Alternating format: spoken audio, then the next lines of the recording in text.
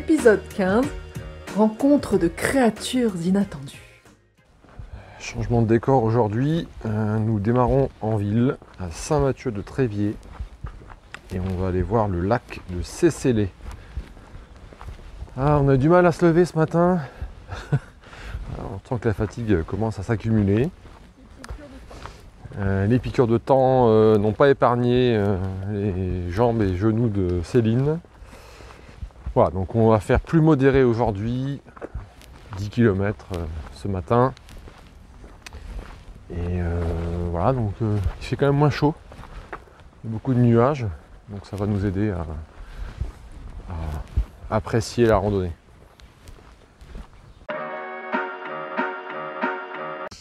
Pour l'instant, la rando se passe plutôt bien, même si moi j'ai un peu de mal à avancer. Est-ce que c'est le passage en chaussures de montagne qui me ralentit ou le fait que j'ai 3 litres d'eau dans le, sac, je ne sais pas. Euh, bon, en tout cas, c'est pas, pas gênant, hein. ça permet bien d'avancer quand même. Le temps se maintient, est quand même bien nuageux. On a fait donc une pause boisson et une pause photo. Vous allez me dire, rien de plus normal, hein, faire des photos.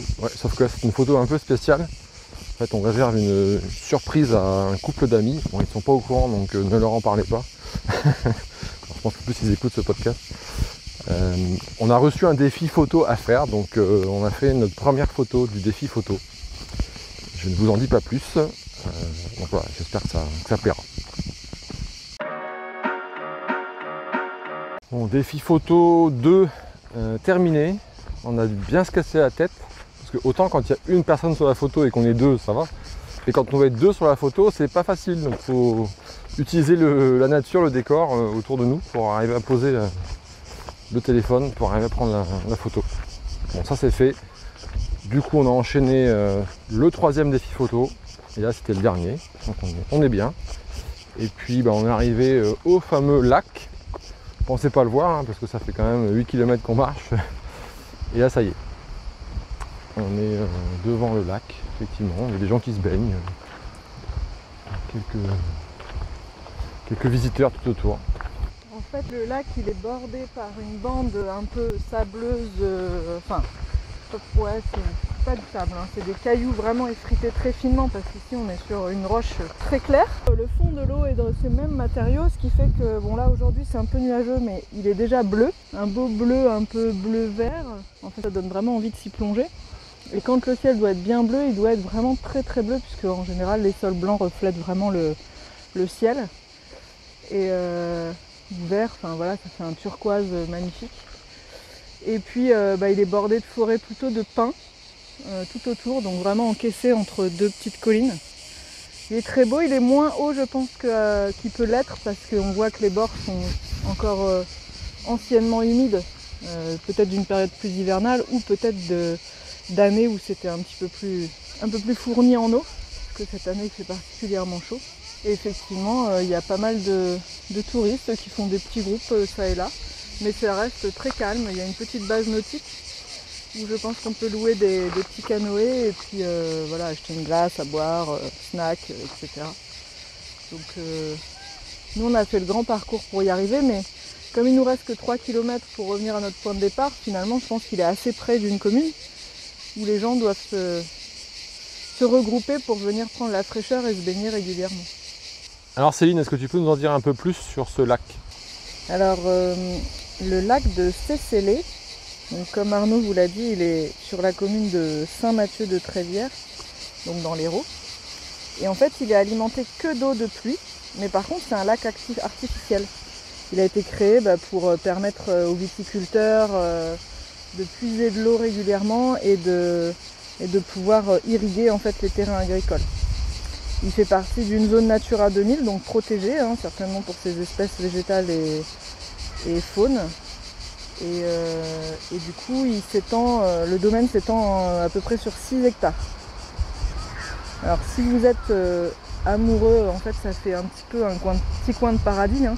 Et puis si vous êtes amoureux du bois flotté, ici vous pouvez en trouver sur les berges on en voit plusieurs morceaux qui traînent. Euh, j'adore moi prendre des photos comme ça où il n'y a personne et un morceau de bois flotté euh, sur, euh, sur le sol avec un, fond de paysage.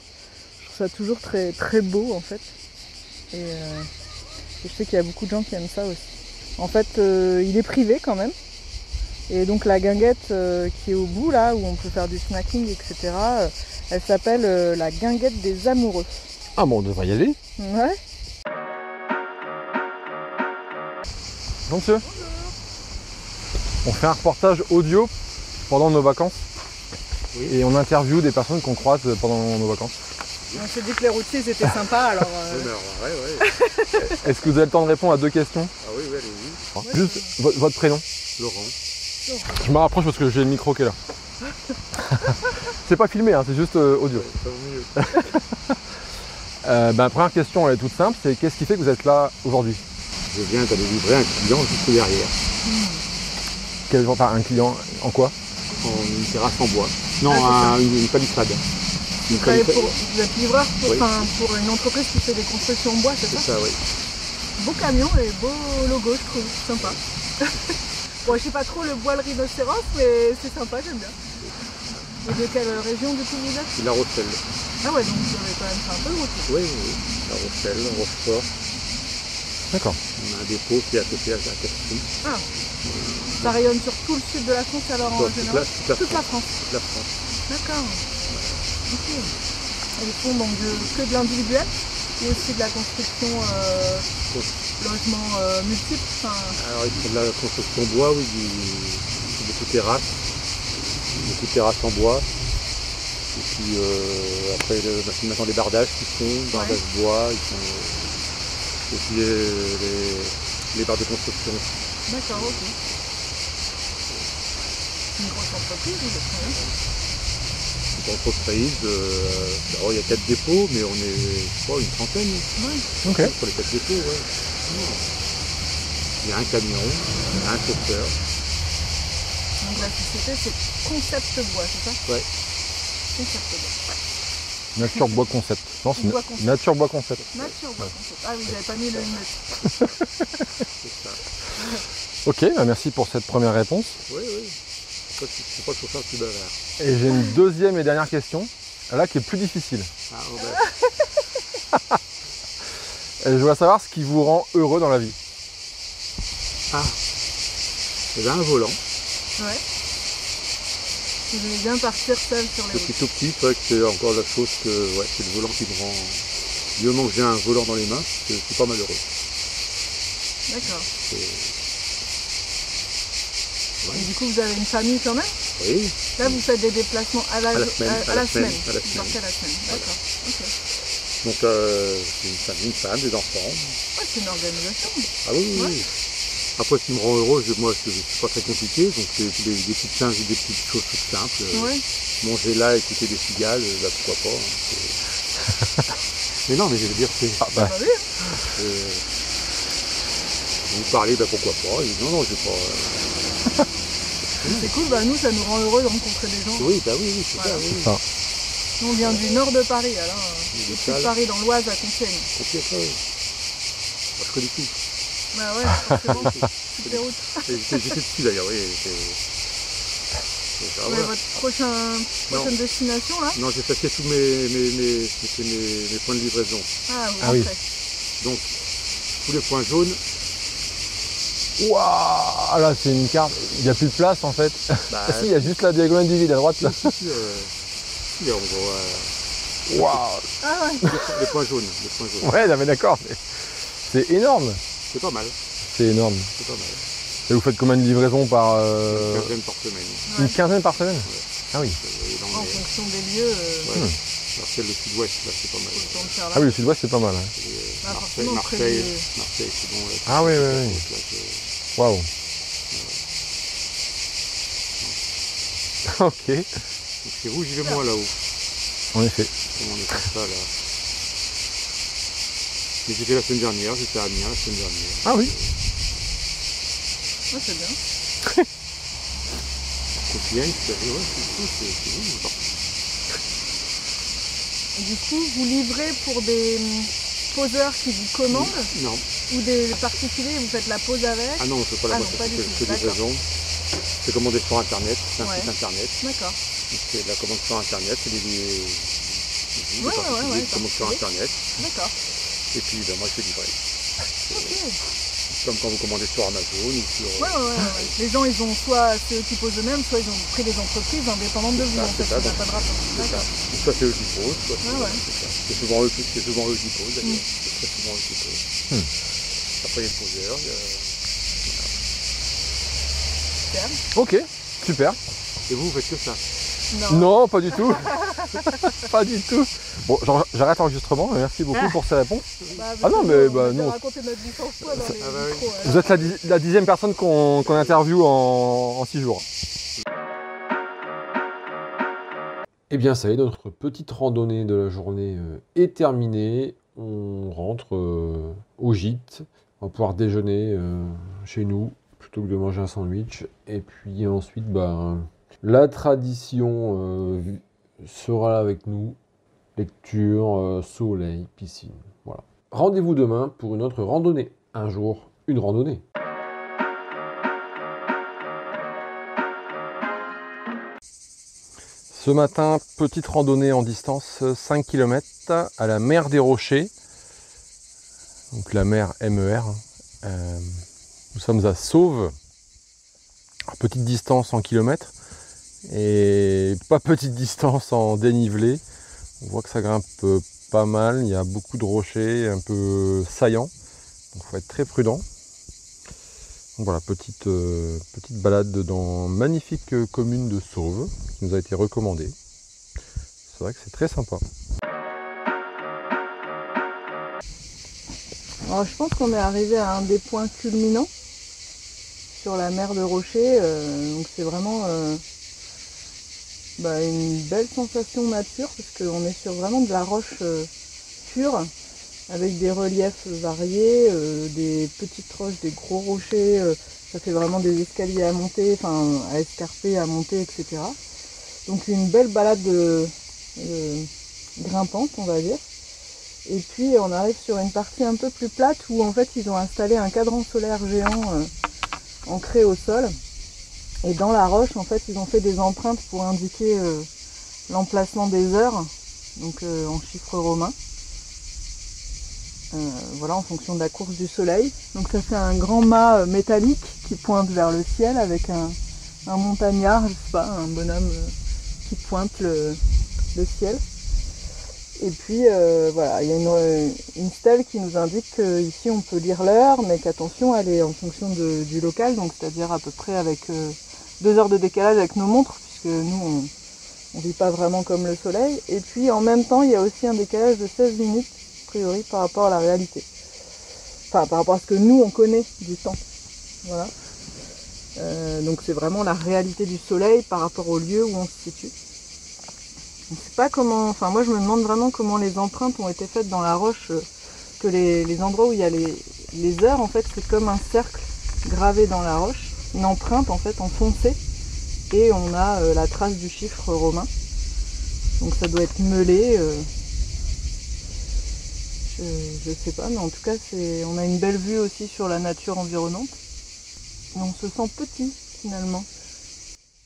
Et on se demande même si dans le relief, dans la roche, il n'y aurait pas des vestiges euh, de Dinosaures ou préhistoire, parce que ça fait vraiment des petites formes euh, pointues, comme des, comme des squelettes en roche, voire comme des mini-montagnes. Si on zoomait, euh, si on zoomait au, au ras de la roche, on, on dirait des mini-montagnes. Ouais, avec les, les crêtes et les petits bourrelets euh, qui descendent sur chaque flanc de la montagne. Et tous les reliefs d'une montagne, mais là c'est en mini comme si c'était des maquettes en fait, qui sont sur une roche. Des maquettes de mini-montagnes sur une roche. C'est vraiment euh, bien représentatif. Donc finalement, moi je pense que c'est surtout euh, à l'échelle d'une grosse pierre, l'érosion naturelle qui se fait aussi à l'échelle d'une montagne dans le temps. C'est pour ça que ça fait le même relief, mais là c'est à l'échelle miniature. Nous avons pris un petit chemin en cul-de-sac où il y a des masées, ce sont des petites maisons en pierre.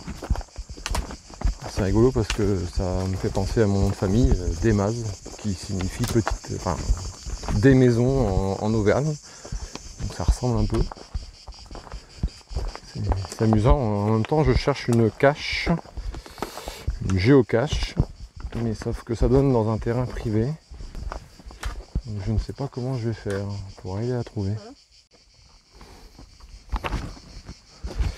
Là je suis en train de chercher une géocache.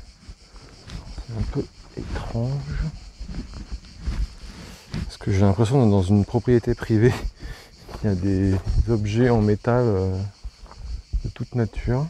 En même temps, j'ai vu les autres commentaires qui disent que non, c'est bien là. C'est bien là, donc il suffit de fouiller un peu.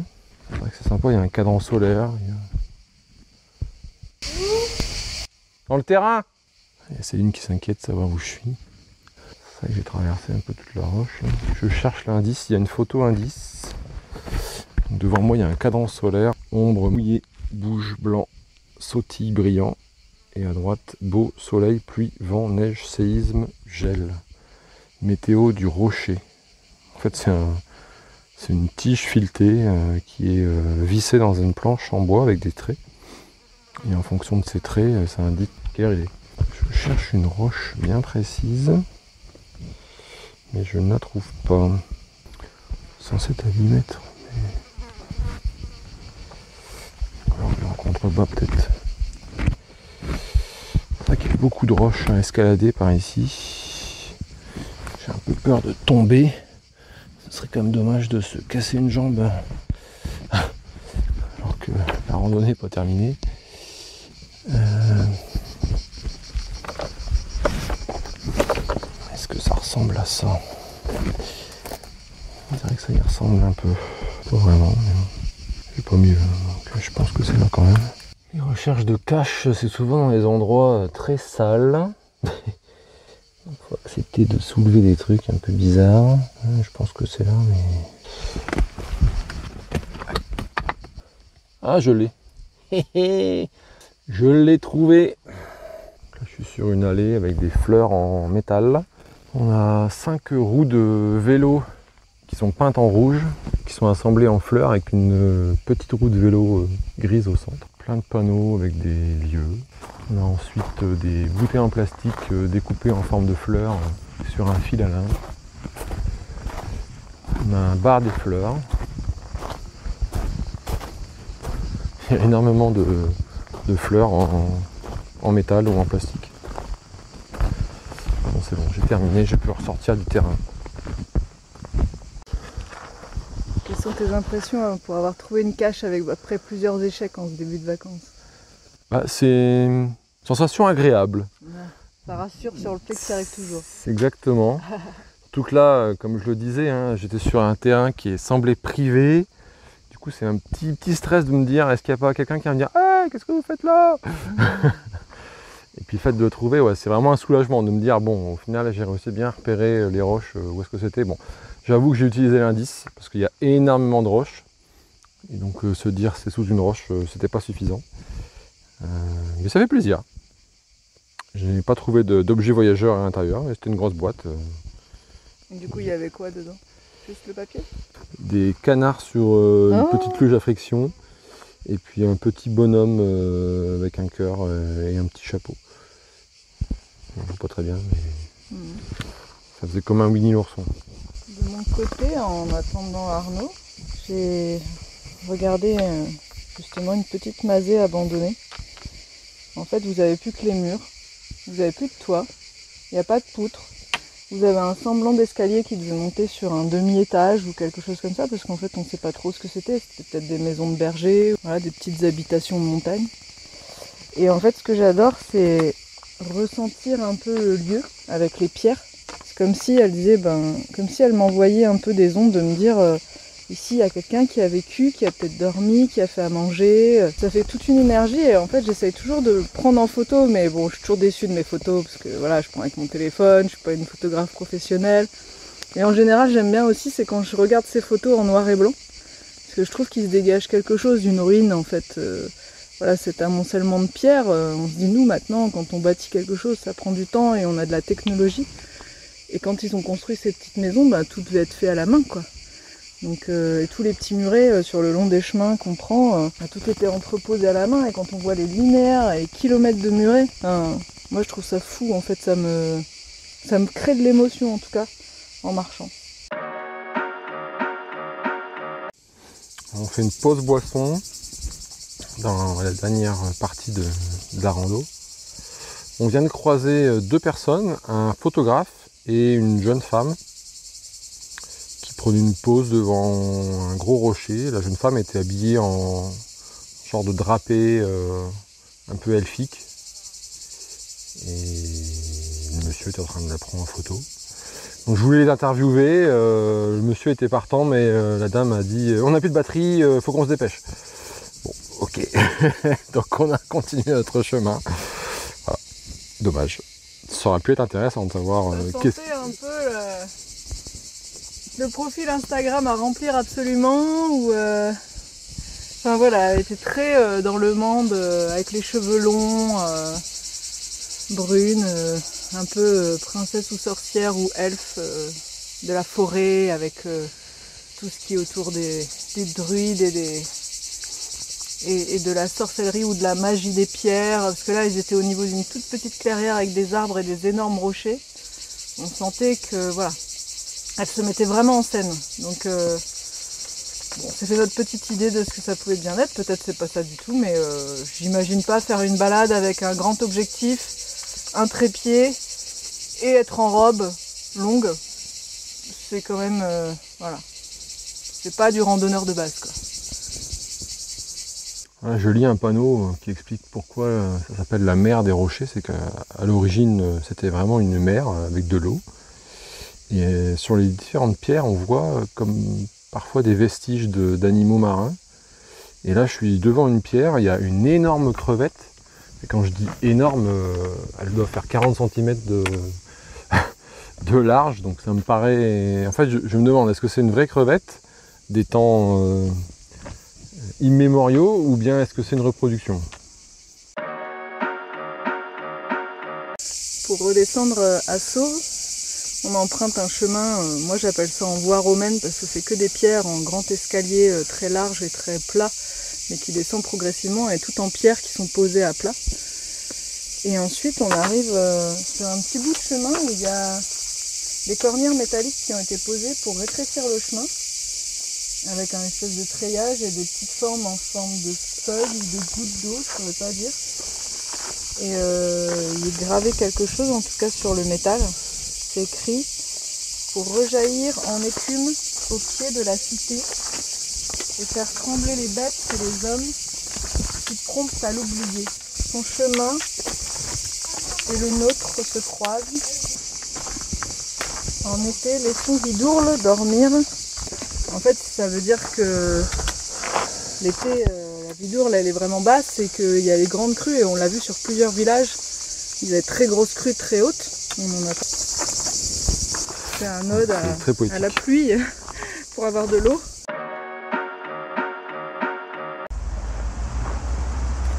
Retour en centre-ville pour la fin de la rando qui finalement a duré euh, 6 km. On a passé euh, presque 3h30, 3h30 de marche. Bah, finalement c'était sympa. Je pensais que ça serait vite fait, euh, qu'on devrait faire autre chose derrière, mais c'était pas si simple au final avec le, type de roche, euh, fallait faire attention quand même. Ça reste familial, c'est accessible au final, il n'y a pas. Il d'équilibriste à faire euh, pour, pour faire l'ensemble du parcours. C'était vraiment sympa. on a croisé quelques personnes. Donc c'est un- ça doit être connu quand même hein, dans, dans le secteur. On a trouvé une super boulangerie euh, juste en face du parking où la voiture est restée à l'ombre pour une fois. On a bien calculé euh, l'orientation du soleil sous les arbres. Donc une bonne matinée.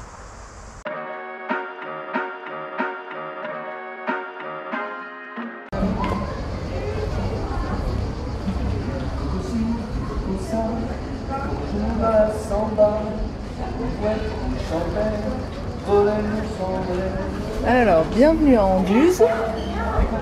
Petite commune euh, très touristique visiblement. Alors on ne sait pas si c'est grâce à sa bambouserie qui est assez célèbre ou si c'est une commune de base euh, assez connue. Euh, petite rue, elle est, vraiment entre deux grandes montagnes. Enfin, montagne d'ici, hein, de l'Hérault. Et puis les petites rues toujours étroites, pavées.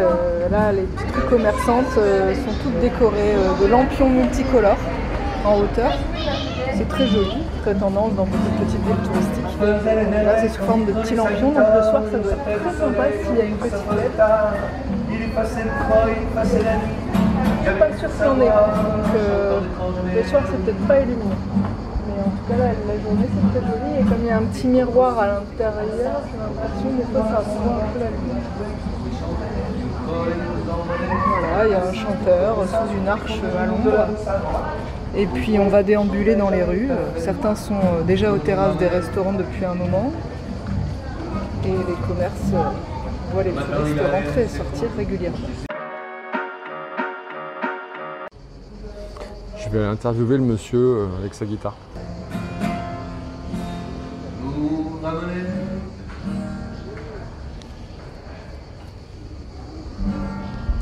Salut, bonjour. Monsieur, fais un reportage audio sur euh, mes voyages D'accord, ouais. et je pose deux questions aux personnes que je croise. D'accord. Est-ce que vous voulez y répondre? Bah ouais, si tu veux. J'ai un, petit micro là. Vas-y. Super. Euh, bah, première question qui est. Avant que je pose des questions, quel est votre prénom? Ah, Cyril. Ok. Ouais. Qu'est-ce qui fait que vous êtes là aujourd'hui? C'est ma première question. Qu'est-ce qui fait que je suis là aujourd'hui? Que vous êtes là aujourd'hui Ah bah moi j'habite ici, donc euh, je viens chanter euh, tous les matins ici. Tous les matins? Voilà. Quand je suis là, quoi. D'accord.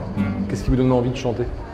Bah, je suis chanteur, veux, je pratique euh, mon art avec bonheur, donc euh, j'y retourne euh, tous les jours, quoi. Depuis combien de temps vous faites ça? Que je chante, hein, Ouais. ça fait une trentaine d'années. Ah oui. Ça fait 20 ans que je chante là. D'accord. Ok. Intéressant. Merci pour cette première réponse. J'ai une deuxième et dernière question, un peu plus difficile. Qu'est-ce qui, dans la vie, vous rend heureux? Qu'est-ce qui me rend heureux? Bah, chanter par exemple, ça me rend heureux. D'accord. Autre chose euh? C'est une question large. hein. Ce que je fais, ça me rend heureux. Je suis un bien heureux. Voilà. Très bien. Eh bien, super. Après, c'est quoi le bonheur? Ah oui. Bah, J'en fabrique tous les jours. C'est vrai. Et je le partage avec euh, les gens qui passent. tu vois. Ouais, c'est clair. Euh, C'est clair. je suis premières loges. Quoi. Bah oui. Hmm. Puis il y a toujours un temps extraordinaire euh, ici. Mais le temps, c'est toujours extraordinaire. Et toi, d'où tu viens là Du nord de Paris, Du nord de Paris. Compiègne dans l'Oise. Compiègne. Je sais pas si tu connais. Non, mais je connais. C'est loin, hein. Je vois où c'est quoi. Ok. ok. Et tu te balades comment? À pied, en voiture en Euh, on est venu en voiture ici, là. Euh, ouais, ma femme est un petit peu plus loin. On fait beaucoup de randonnées le matin. Ouais Puis là, il fait un peu chaud pour faire de la randonnée. On se balade. Un peu dans les Cévennes, là, tu arrives Alors, on était, on est à Vaquière là. Vaquière, c'est où ça? Euh, Vaquière, c'est dans l'Hérault. Ouais. Euh, pas loin de Sommières. D'accord. Après Sommières. Moi, pas d'accord. Entre ici et, et Montpellier, quoi. Oui, c'est ça, exactement. D'accord. exactement. Et la semaine prochaine, on va euh, crapahuter dans le Gévaudan. Dans le Gévaudan, ah bah, il fera plus frais là-bas. Ouais, je pense. Ouais. Je pense. Ouais, c'est pas du tout pareil. hein. Ouais, ouais. Mais c'est bien, c'est une région sympa là. Bah, j'espère, ouais. Tout le massif central, c'est sauvage. Quoi. Ouais, Pas- c'est ça. De... C'est ça, ouais. Tu te balades dans la nature. Ah, Il y a moins de monde qu'ici. Euh, Il y a moins de monde qu'ici, ouais. Ouais, et puis c'est les, plateaux. euh, Ouais, bien. tout à fait, ouais. Bah, on espère. C'est la première fois qu'on ouais, fait ça. On, on va se poser, puis on va marcher 4 jours de suite. Ouais. Bonjour, monsieur Lam. Et puis le cinquième jour, on prend un train, on revient au point de départ. D'accord, ouais. Bah ouais, c'est bien, ouais. Ah ouais. On verra ce que ça donne. Ah ouais, donc une randonnée de 4 jours hein, Ouais. avec des gîtes, tout ça. Euh, des gîtes, ouais, parce qu'on dort pas les étoiles quand même. Ouais. Donc, euh, on a Ouais, besoin. Il fait frais, hein. Ouais, j'imagine, ouais. Ah ouais, Puis bon, ça te permet de voyager plus léger aussi. exactement. Tout à fait, C'est autant profiter. tout à fait. Super Bon, bah bon Bah, voyage. Merci beaucoup. Bonne balade. Bonne chanson. Ouais, c'est comment ton prénom? Arnaud. Arnaud, d'accord. En fait, on fait un podcast Ouais. Je sais pas si tu connais. euh, Un Les- podcasts. podcast? Oui, je connais. et donc c'est disponible sur. euh, Internet. euh. c'est ça, sur, euh, sur Spotify, sur Deezer. D'accord. Ça s'appelle Raconte-moi ton voyage. D'accord. Donc c'est pour tout le monde et tout. Exactement. Je peux leur dire, je peux parler aux gens. alors. Ouais, c'est ça. D'accord. Paix, joie et amour. Ce sont les trois signes de bonne santé. Ok, super. Voilà. Merci la beaucoup. paix, c'est la bonne santé de l'esprit, la joie, c'est la bonne santé du corps, et l'amour, c'est la bonne santé du cœur. Voilà, Merci beaucoup. maintenant euh, vous savez quoi faire. Au plaisir. Au plaisir. Soignez-vous. Merci, au revoir. Bonne santé.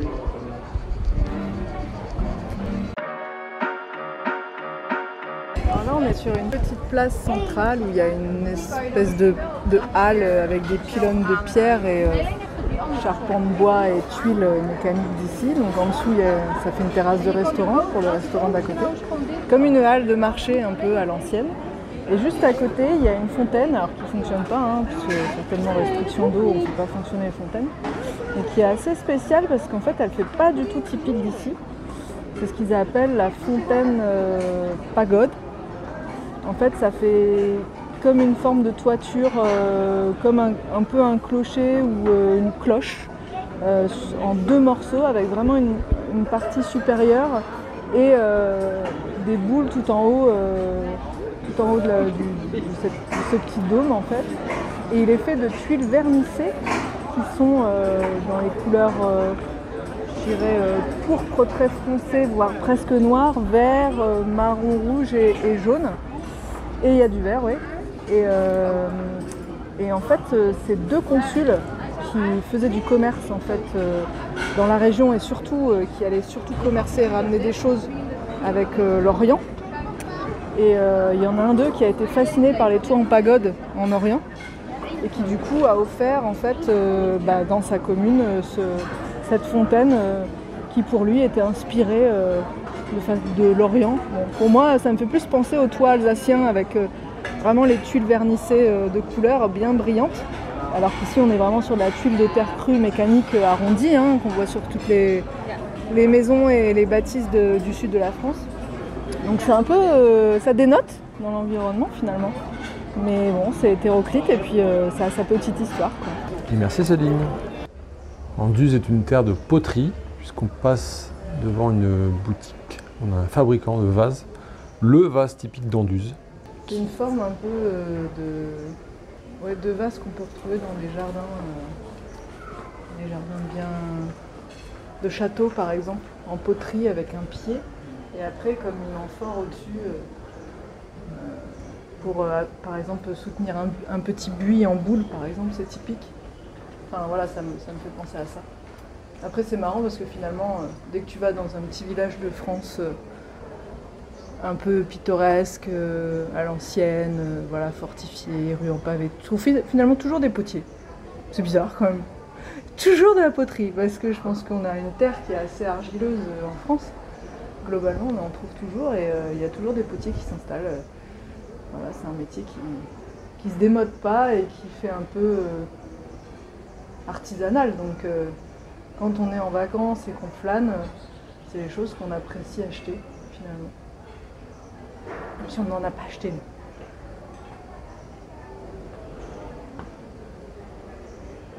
nous. Non Ah, je suis d'accord.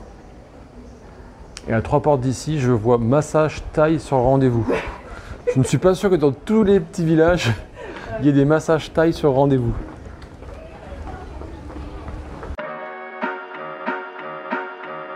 Deuxième petite place, je trouve qu'elle est encore plus pittoresque.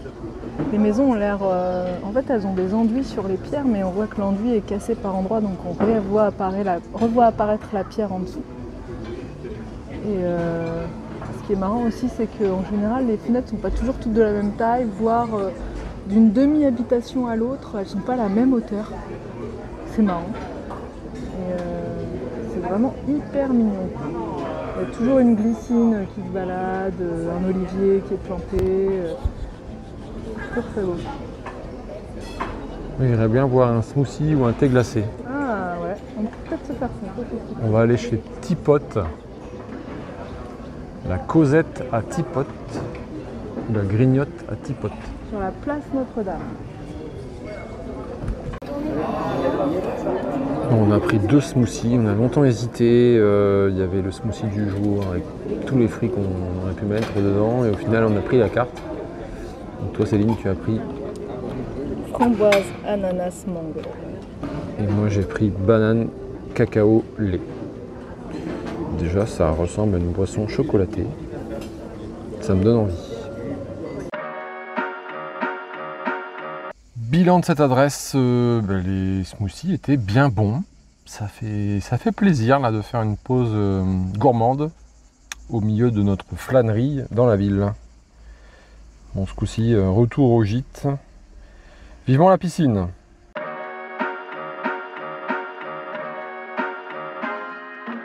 Eh bien, c'est la fin de cette nouvelle journée. Euh, franchement, je suis très heureux du conseil euh, qu'on nous a donné d'aller visiter ces différents endroits, à la fois nature, à la fois ville touristique. Ouais, franchement, très très bien. Des, choses atypiques à visiter, des personnes à chaque fois inédites. euh, c'est- la magie en fait des rencontres. euh, J'adore. Eh bien, je vous dis à demain pour, euh, hmm, ah, bien, pour une nouvelle rando, forcément. C'était Raconte-moi ton voyage. N'hésitez pas à mettre des étoiles et un commentaire sur votre application de podcast préférée. Merci beaucoup, ça nous aidera à nous faire connaître. Je vous donne rendez-vous pour un prochain épisode.